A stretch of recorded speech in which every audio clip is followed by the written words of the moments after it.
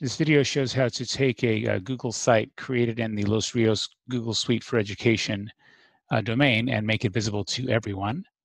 When you're in site edit mode, select the share icon, then select to change for the published state and choose the option anyone can find and view the published version.